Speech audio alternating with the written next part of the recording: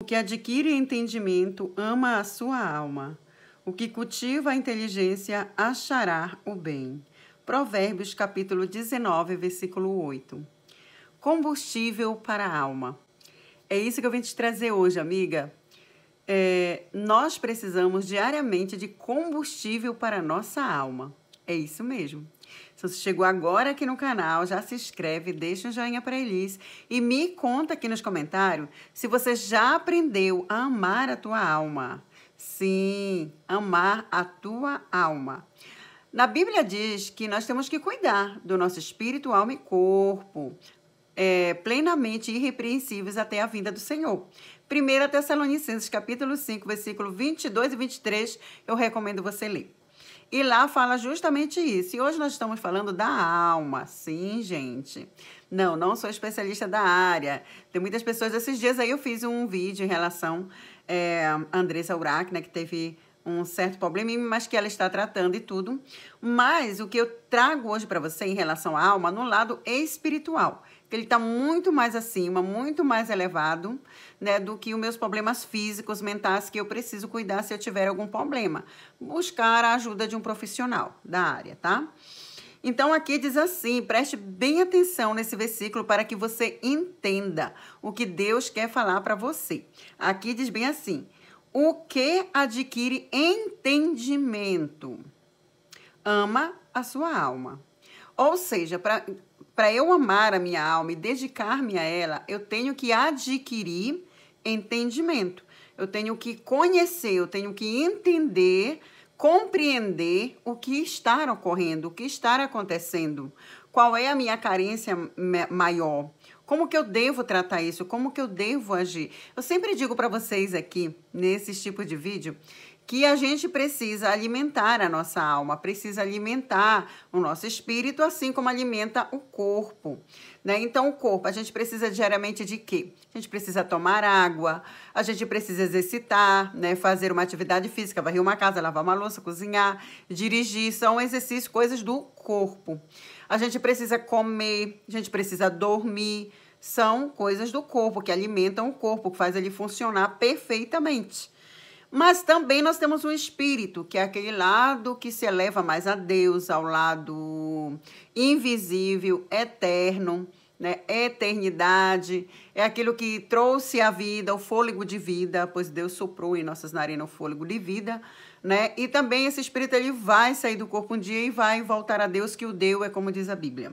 Mas além da carne, da matéria, do espírito que se alimenta de oração, de jejuns espirituais, da palavra de Deus, né? Existe a nossa alma. E a nossa alma, o alimento dela, qual é, gente? O alimento da alma. Além, ah, Elise, eu posso ir num profissional da área que vai cuidar do meu psicológico e tudo mais, mas eu não queria, ou não quero, ou tem outra forma, mesmo que você procure outra forma que venha te ajudar. Eu sempre digo isso aqui, eu já falei. Se sente que tem algum problema, né?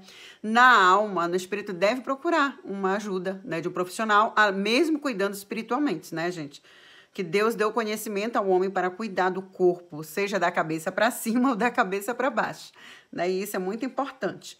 Então, vou falar aqui plenamente do lado espiritual, do, do lado não físico, carnal, matéria, mas da tua alma no sentido espiritual. Como que eu vou ajudar a minha alma? Como que eu vou enriquecer o meu entendimento, demonstrando amor à minha alma? Como que eu vou fazer isso? Demonstrar à minha alma que eu a amo. É, Jesus disse né, que nós devemos amar a Deus acima de tudo e ao nosso próximo como a nós mesmos. Jesus estava falando justamente, ele é um perfeito psicólogo, né? Maravilhoso. Então, ele estava falando justamente da minha alma, dos meus sentimentos. Então, o que, que o Senhor estava falando aí? Que eu só posso amar o meu irmão, o meu amigo, o meu próximo, se eu primeiramente aprender a me amar. Sim, gente. Eu preciso aprender a amar a minha alma, os meus sentimentos, para que a Bíblia também diz lá no Evangelhos, né, que se eu, eu coloco para fora, a boca só transmite, só coloca para fora o que está cheio o meu coração. E o coração está cheio do quê? Dos meus pensamentos né, do que eu guardo, do que eu raciocino, do que eu penso. tá? Então eu só posso amar o meu próximo como a mim mesmo se eu aprendi realmente a me amar, tá? Então é por isso justamente que fala aqui, né, que é aquele que adquire o entendimento, o conhecimento, esse ama a sua alma. Então eu preciso aprender a amar a minha alma. Agora, como que eu vou amar a minha alma, Elias? Como que eu, eu, eu vou saber fazer isso? Bem, a palavra de Deus diz que tudo que é bom, tudo que é amável, tudo que é justo, nisso pensai. Né? É nisso que nós devemos guardar no nosso pensamento. Eu já coloquei um vídeo curto essas, esses dias aqui falando sobre esse assunto para vocês, mostrando esse versículo tudo direitinho. Mas o primordial nessa mensagem que eu quero te trazer para alimentar e guardar na tua mente, no teu coração, como você deve alimentar a sua alma, tem uma receita maravilhosa aqui na Bíblia. Pega a tua Bíblia aí e abre lá em Gálatas, sim, livro de Gálatas. Você vai aprender a amar a tua alma, sim, cuidar dela. Talvez ela está tão angustiada, tão aflita, tão desesperada e não sabe o que fazer. E, gente, você tem que aprender a falar com você mesmo, sim, falar com a tua alma. Tem até um louvor da harpa cristã que ele diz, ele, ele é bem assim. Porque te abates, ó oh minha alma, e te comoves, perdendo a calma.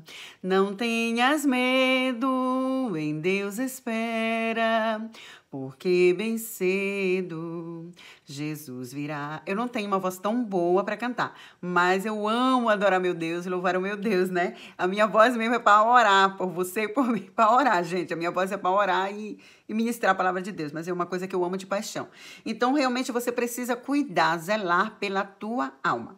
Vamos lá, Gálatas capítulo 5. Sim, Gálatas capítulo 5, versículo 22 diz a receita completa como você deve cuidar dessa alma, tá bom? Vamos lá, então, olha como é que diz aqui.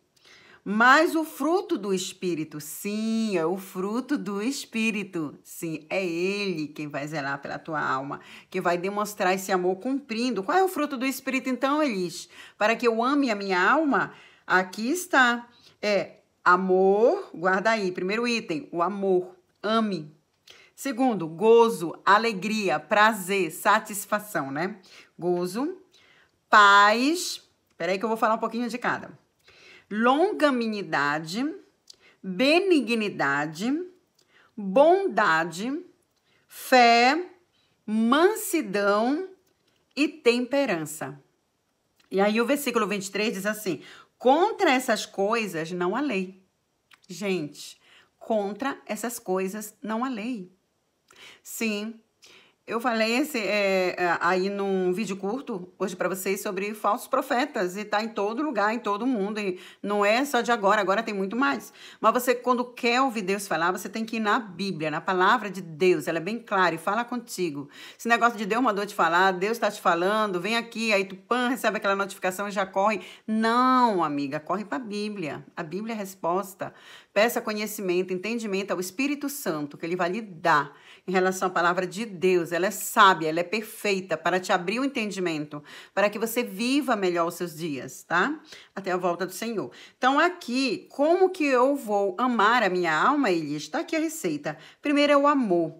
Como eu falei, você tem que aprender a amar a sua alma para poder amar o seu próximo. E para você aprender a amar a sua alma, você tem que amar a Deus sobre todas as coisas. Como diz a Bíblia, amar a Deus sobre todas as coisas. E Jesus também falou, né? Buscai primeiro o reino do céu e a sua justiça, para que tudo o que vocês precisam, tudo eu vos, eu providenciarei para vocês, né? O Senhor não deixará faltar nada, mas primeiro é Deus, primeiro é o reino dos céus, primeiro é conhecer o amor de Deus, que é um, um amor zeloso, cuidadoso, que a cada dia zela por ti, que a cada dia te livra do mal, que cuida de você. Então experimente esse amor. Quanto mais você se enche do amor de Deus, Romanos capítulo 10 diz: Quem nos separará do amor de Cristo? Capítulo 8. Quem nos separará do amor de Cristo? A tribulação, a angústia, a, a situação que eu passo, os anjos, nada, nada me separará do amor de Deus. Leia lá depois. Então, o amor de Deus é algo lindo, tremendo, maravilhoso que devo experimentar a cada dia na minha vida para que eu possa transmitir ao meu próximo. E quem ama, perdoa. Esse ditado é bem certo tá bom? Então, para você amar a sua alma, você tem que experimentar o amor e você tem que experimentar automaticamente o perdão. né? Porque se eu perdoo é porque eu aprendi a amar com Deus. Porque o amor de Deus, que foi lá na cruz do Calvário, transmitido na cruz do Calvário, ele foi o verdadeiro perdão. Mesmo eu não merecendo, ele trouxe a sua graça sobre mim. E o que significa graça? Um amor imerecido. Eu não merecia, pois, mas mesmo assim ele trouxe até a minha vida a sua graça através do seu amor por mim. Eu reconheço esse amor, ponho Deus acima de tudo, então aprendo a amar. E com esse amor ao meu próximo, eu estou também amando a minha alma. Amém? Então, o amor. Depois, o gozo. O gozo é alegria. A palavra de Deus diz que a alegria do Senhor é a nossa força. Né? Também o apóstolo Paulo diz: alegrai-vos na tribulação, sede pacientes na tribulação, na angústia, porque o Senhor tem zelado por nós, tem cuidado de nós. Né? Então, esse gozo, essa alegria, não é só quando, olha, Jesus disse: no mundo tereis aflição, mas tem de bom ânimo. Então, no meio da angústia, da perseguição, da luta, da dificuldade, temos que adorar a Deus, louvar a Deus. Você sabia que a música, quando você canta, você adora a Deus, Deus se agrada porque você está o adorando e a tua alma se alegra.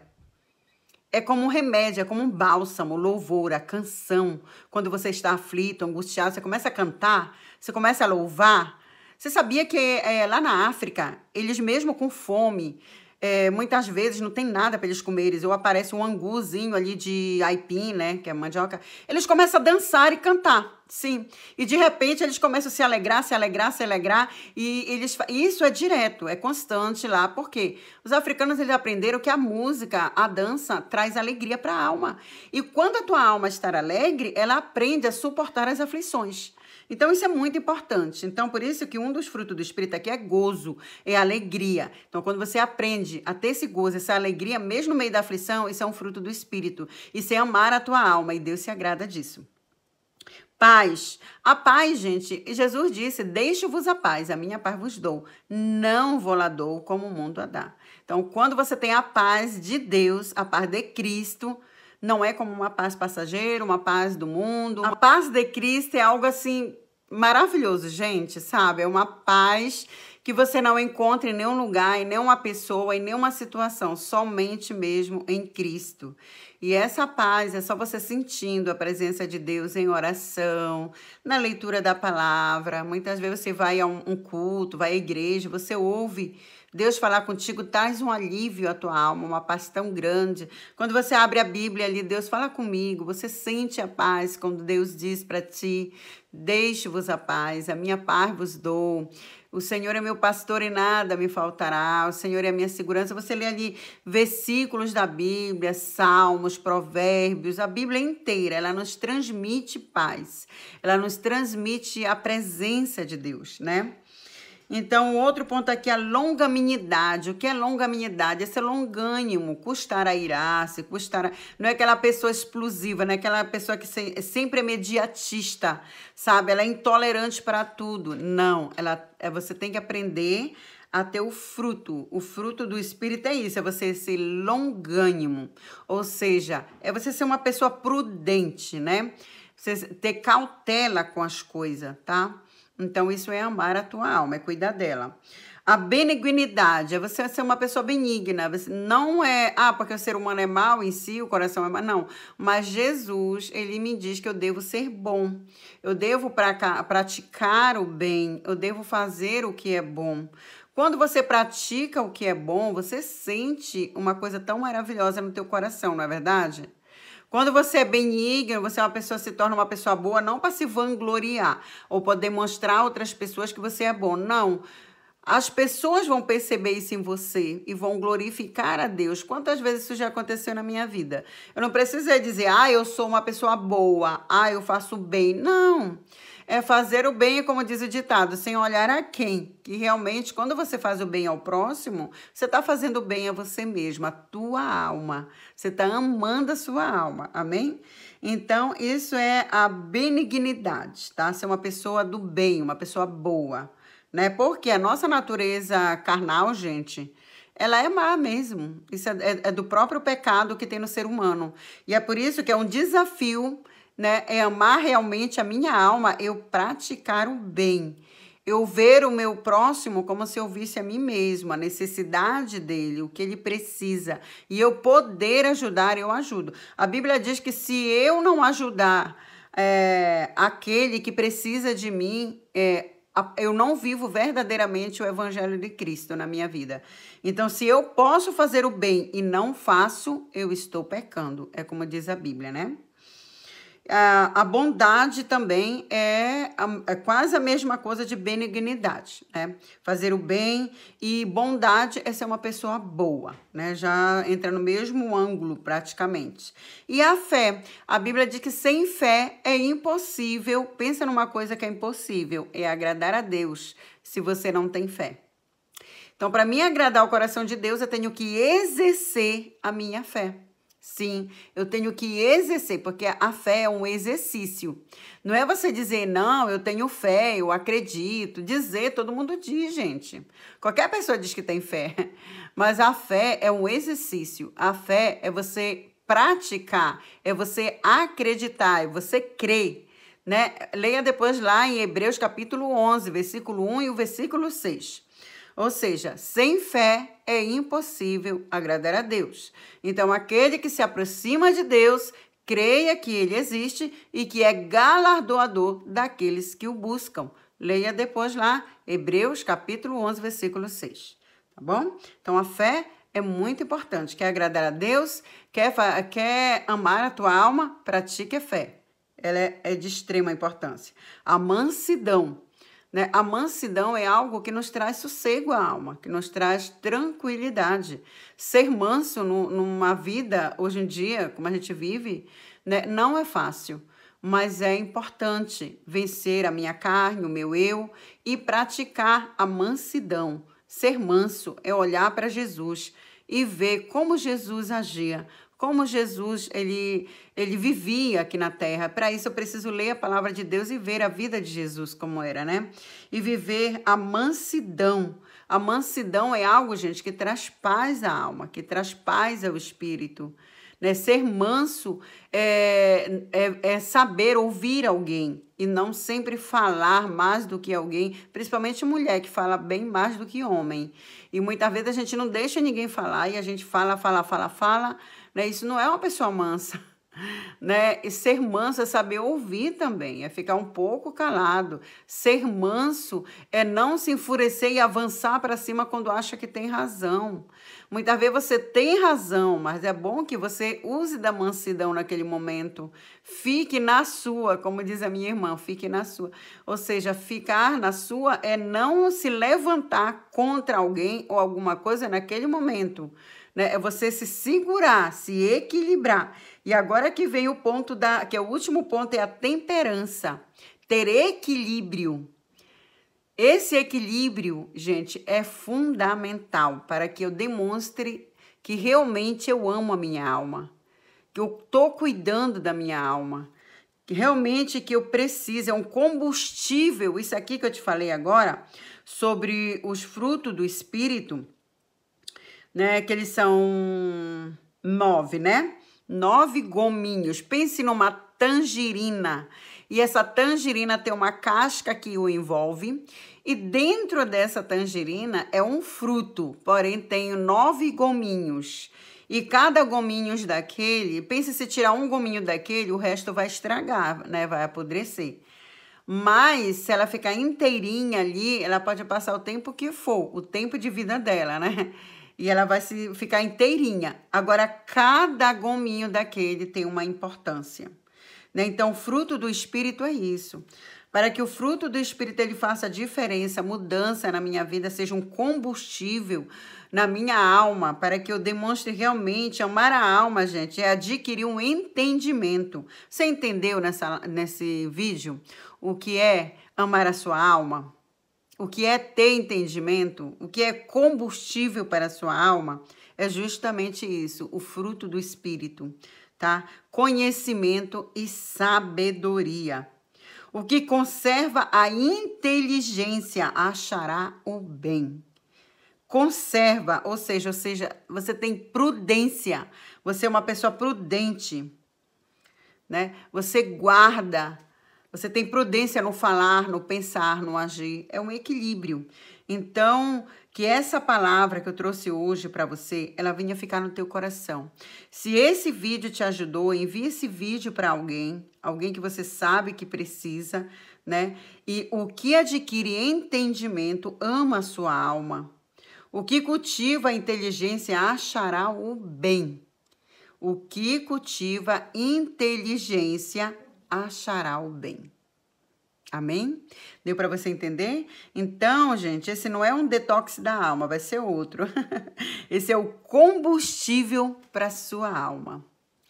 E eu continuo orando por cada um de vocês, cada um dos meus seguidores, e creio que Deus tem o melhor para a tua vida. Ore comigo nessa hora. Pai querido, Pai Santo, eu te apresento, Senhor, nesta oração, essa pessoa que chegou aqui nesse vídeo. Deus, acalma a sua alma. Tira toda essa angústia, Senhor. Tira toda essa aflição. Deus, sara a sua alma, Jesus. Cuida dela como ninguém tem poder de curá-la, de libertá-la, de transformá-la. Deus, tu és o detox, tu és o combustível, meu Deus, para nossa alma. Nos ajuda, Senhor, a viver o fruto do Espírito. Deus abençoa cada um, a cada pessoa que chegou aqui. Essa pessoa que não consegue mais dormir, Senhor. Deus, acalma essa tempestade, que hoje mesmo, Senhor, ela venha sentir na sua vida o alívio para a sua alma, a tua presença gloriosa, Senhor.